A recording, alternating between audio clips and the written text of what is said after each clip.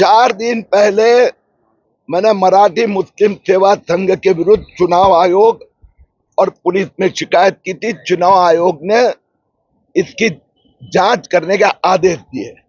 आज मैंने अभी दूसरे एविडेंसेस पुलिस को दिए, चुनाव आयोग को दिए कि ये मुस्लिम, मराठी मुस्लिम सेवा संघ कहते हम 400 एनजीओ महाराष्ट्र भर में हज़ार से ज़्यादा सभा है। लेकिन उनके जो बैंक और जो बैलेंस शीट है, उसमें सिर्फ़ 500 रुपए के ट्रांजेक्शन दिखाई दे रहे हैं। तो ये पैसा कहाँ से आ रहा है?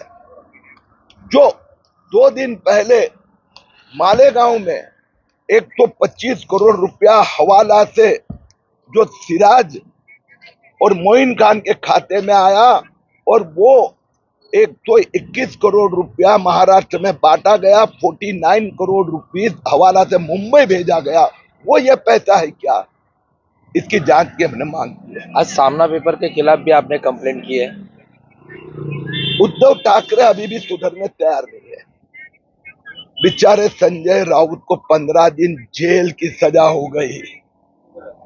फिर एक बार सामना ने परतो सोमैया के विरुद्ध में ऐसा ही एक न्यूज़ छापी है कोई पुरावा कुछ नहीं हमारा कोई संबंध नहीं।